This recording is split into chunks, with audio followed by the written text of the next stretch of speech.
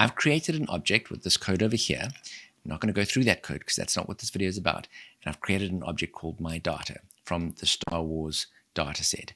And basically for all of our Star Wars characters, we've pulled out their sex, male or female, or their gender, and we've got the height for each character. And the question we're asking is, is the average height of men or males in the Star Wars universe more than the average height of females? if you look at this graph that we've got down here, it does look like, looking at the graph, that men are taller than women. This is a, each of these lines. The blue line is the distribution of the height of men, and the pink line is the distribution of the height of, of, of females. Now, we test that by doing a t-test.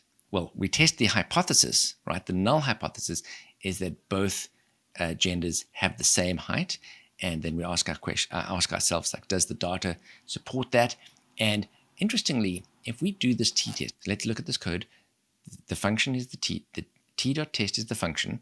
The first argument is the numeric variable, and this tilde is by, so we are disaggregating the height by sex, right? So we're taking all of the height data and we're putting it into one bucket for men and one bucket for women. And we're asking ourselves, is the average in each of those buckets the same?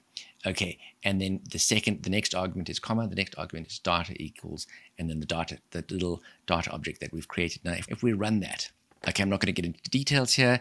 It tells us what the average height of men and women are. It does look like the average height for men is more than the average height for females, but the p-value is 0.1. So in actual fact, this is not statistically significant. There's a good chance that this difference that we're seeing, given the sample size, is just by chance. It's not a statistically significant difference. Okay, and my other videos get into a lot more detail about that.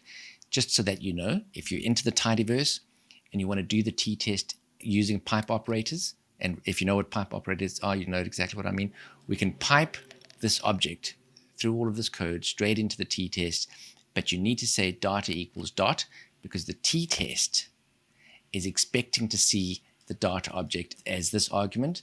And ordinarily, when you make when you pipe data in a data object into the next line of code in R, its natural place is to stick the data right at the beginning. Okay, another thing just to mention is for the t-test, there are other arguments that you might want to include, right?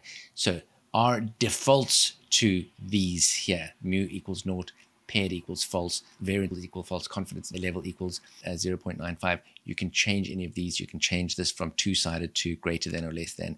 So you can change any of these parameters and you just put them in there. I've got a video that goes into a lot more detail, so check that out if you're interested. Thanks for watching. Don't do drugs. Always do your best. Don't ever change. Speak to you soon. Take care. Bye.